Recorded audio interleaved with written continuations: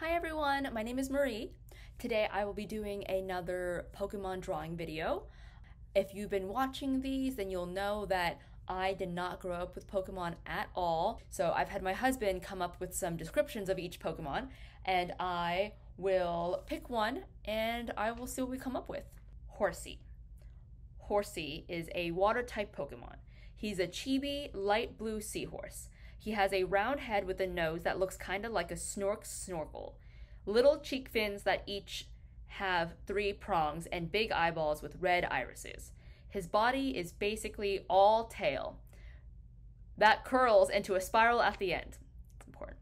He has a cream colored belly and little roundish cream colored wings slash dorsal fins. Okay, time to draw a horsea.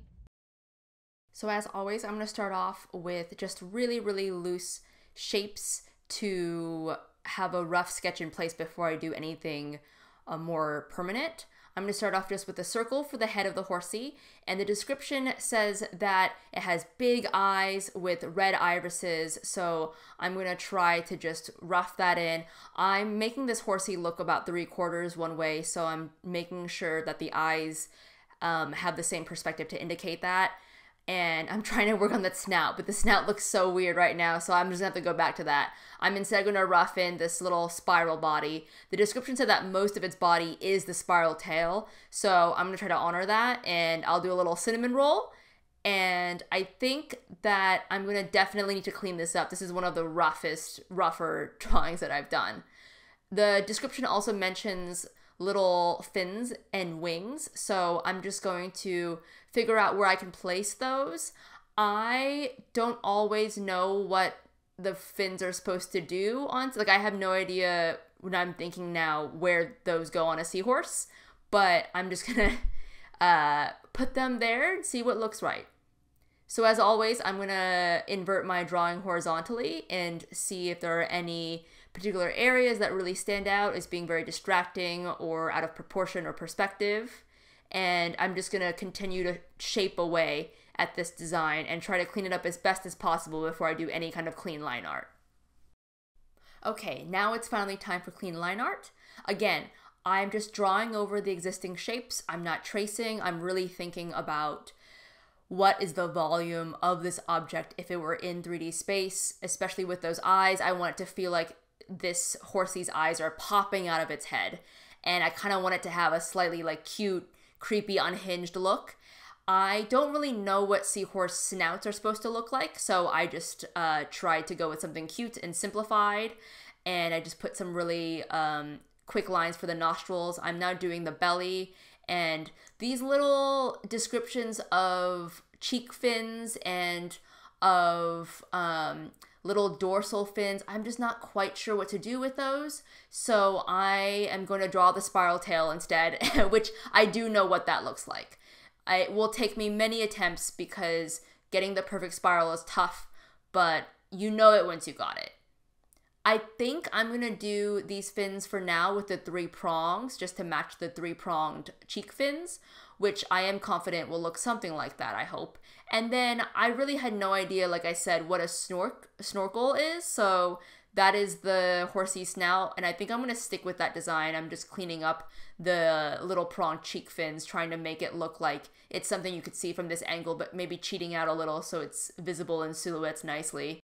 Next, I'm going to focus on this final fin here. I don't know if it would be called like a dorsal fin or something.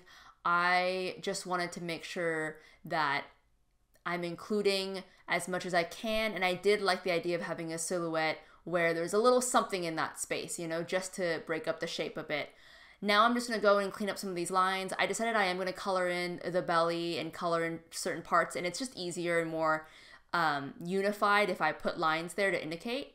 Now that I have the clean lines, I'm going to invert the design and just check to make sure that it kind of fits my standard and feels like it's something that I am excited to color in. And now we're going to move on to color. The description says that the Horsea has a chibi light blue color.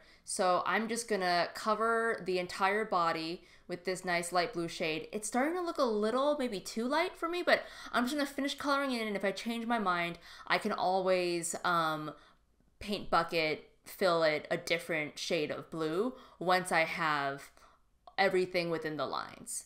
And as I'm going through this, I just uh, am noticing that I don't know that I actually like those three pronged fins either. So I might return to that. But for now, I'm going to give the eyes a color. I'll choose like a slightly off white. Again, this is just so that when I export the PNG, I can uh, turn off the white background entirely and still have this image isolated.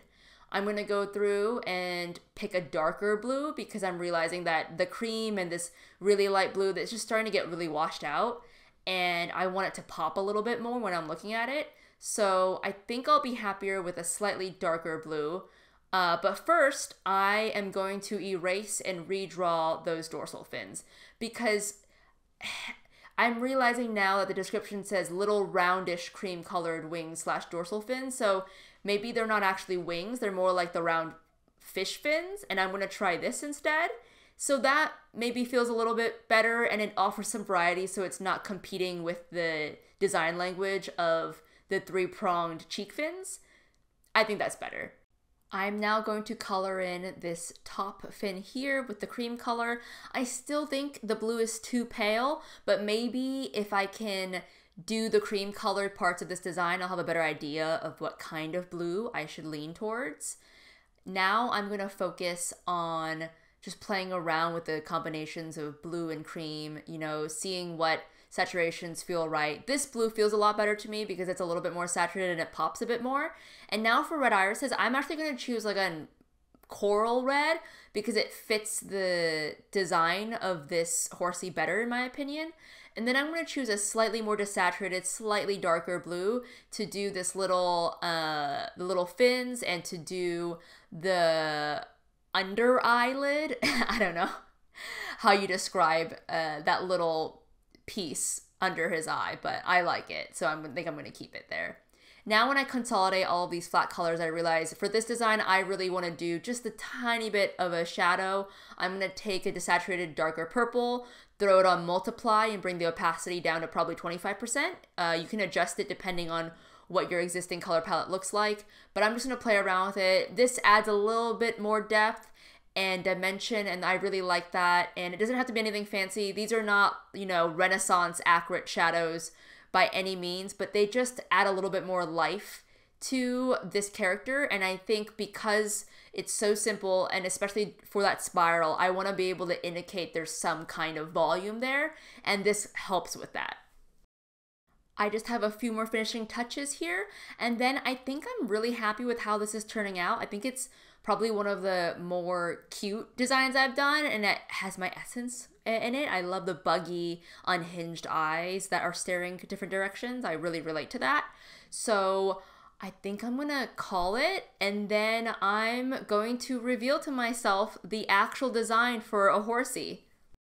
So this here is my final design, but I'm now gonna look up what the official Pokemon approved Horsea looks like. Oh, this Horsea, it's so cute. Oh, I see what the description meant by like a snorkel nose. Like I didn't know that a snorkel was like it looks like a suction tube. I think I should have known that, but I didn't. And I see what they mean now by the difference in the three pronged cheek fins. I totally interpreted that as like cute little pieces. I didn't realize it was like the whole head. Like those three prongs are literally the entire Horsea's head and I also really like that the the little spiral tail is actually much smaller.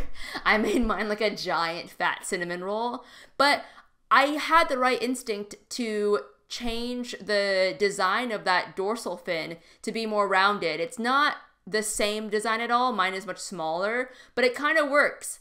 Okay, my Spiral Tail also literally goes the opposite way, and I feel like I should have known that based off of how seahorses work, but I clearly didn't because I guess I don't look at enough marine life. Um, but I really like both versions of this, and now you know there's many versions of what a Horsea can look like. Thank you again for watching, and if you're interested in me drawing a Pokemon based off of your description, please comment below. See you next time!